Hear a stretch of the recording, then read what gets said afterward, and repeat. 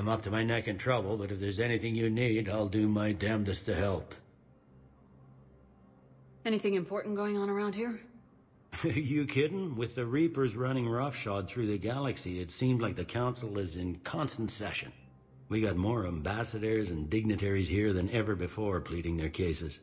But that's just the tip of the iceberg, really. Is the Citadel gearing up for war? Uh, there's a false sense of security here. Even people from worlds that have gone down act like they're safe. Well, I guess it's not just human nature. We all lie to ourselves to deal with horror. Thought things were relatively quiet here. Well, compared to where you're coming from, sure. But the war's being felt everywhere. Millions across the galaxy have been displaced, and most of them come here.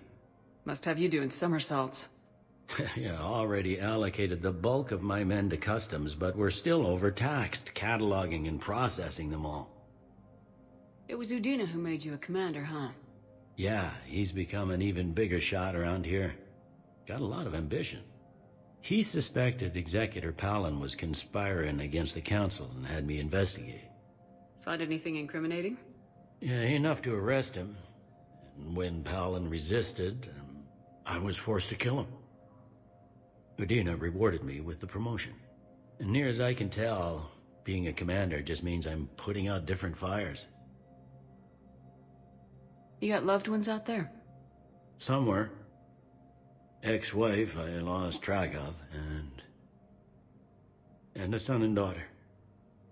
They're still on Earth. I'm sorry, Bailey. Yeah, I'm just like everyone else. I'm losing myself and things I can control. And at the moment, that means creating the illusion of security here.